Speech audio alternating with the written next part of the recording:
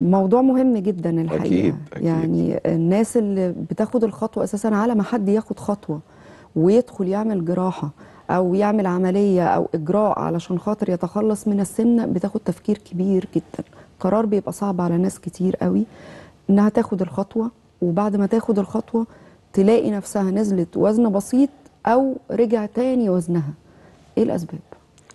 هو الحقيقة زي ما حضرتك قلتي ده المفروض بيبقى آخر المطاف. المريض بيبقى منتظر إن هو خد خطوات كتير في حياته وبعدين خلاص أنا لازم آخد الخطوة القوية. فعمل إحدى عمليات السمنة فالمنتظر إن هو ما يتخنش تاني. آه، أكيد آه، في كرايتيريا ومواصفات اللي بيها نقول بإذن الله العملية دي آه، ناجحة والمريض ما- يرجعش تاني. ال- ال- النقطة الأولى والمهمة هي اختيار العملية المناسبة للشخص المناسب.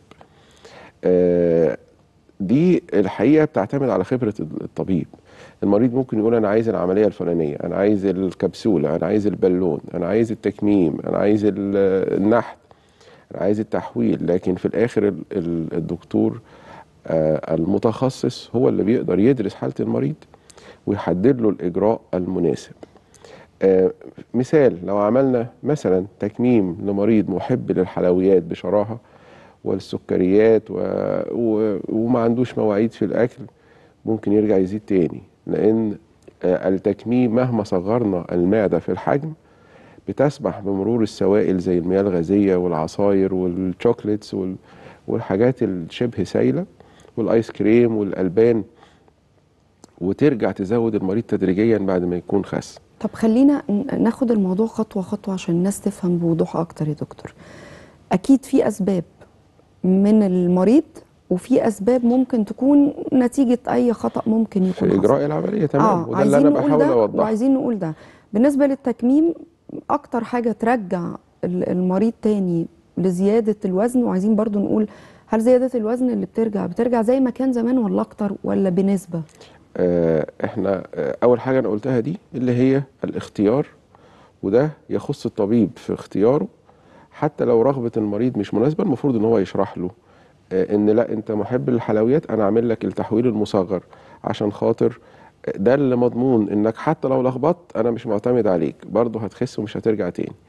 آه، لكن ممكن زي ما حضرتك قلتي ال- المريض يتعمل له تكميم وما يبقاش هو محب للحلويات وبعد العملية يكتر من الحلويات. يبقى الطبيب اختار العملية الصح وأجراها بطريقة صح بس المريض غير طبعه الغذائي. دي دول بنسميهم ال sweet converters أو المتحولون لحب الحلويات. آه، وده طبيعي يا دكتور؟ آه لا هو النقطة دي برضو فيها نقطة technical تخص الطبيب. مم. إن أنا لو ضيقت عليه في المعدة قوي وما بقاش عارف ياكل فأنا اللي بجبره إن هو ي shift على الحلويات. عشان بتبقى أسهل. أسهل بالنسبة له. آه، مش الح- الحلويات آه، يعني كل ما هو بيدي سكر ببساطة.